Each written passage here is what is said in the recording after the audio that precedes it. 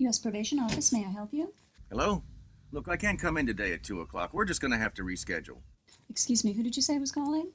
You know damn well who this is. Now, hold on, please.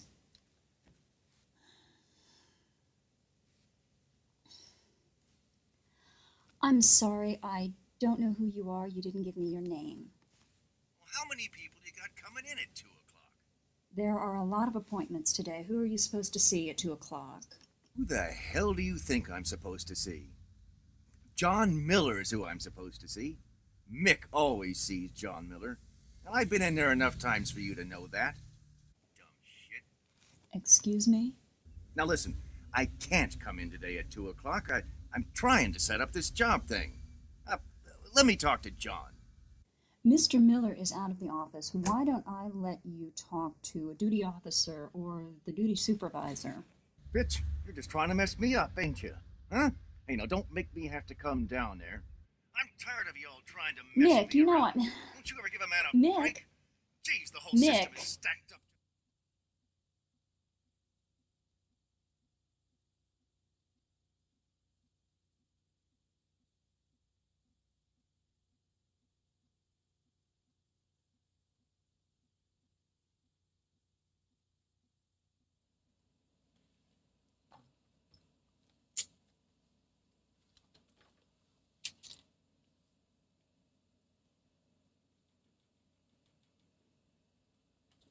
Hi, Sherry.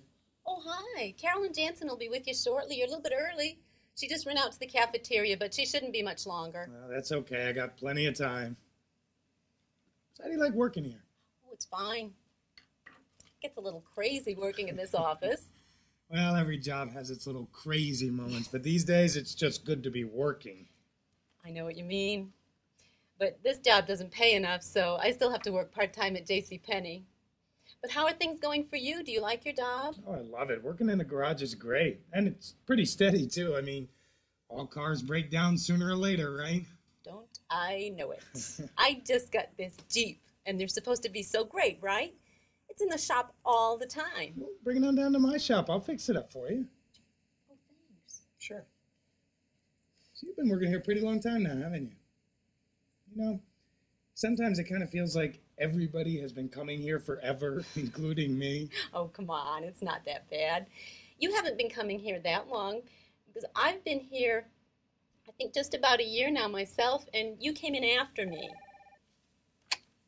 Hello, Sherry Jones. Yeah, I'll send him right back. Okay, Bob, you can go on back. Oh, uh, here's my card. I'll look for you down at the shop.